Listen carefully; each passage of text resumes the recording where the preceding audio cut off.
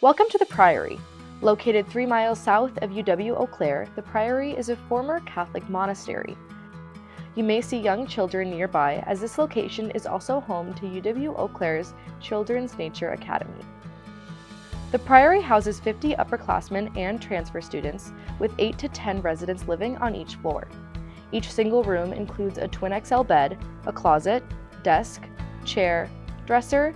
On each floor, there is a shared kitchen with a microwave, stove, and fridge. Just down the hallway is the laundry room and a lounge, where you'll also find a printer. To pick up your mail and packages, head to the front desk. The Priory has a free shuttle service to take you to and from campus. You can also choose to bring a personal vehicle and purchase a parking pass for an additional cost.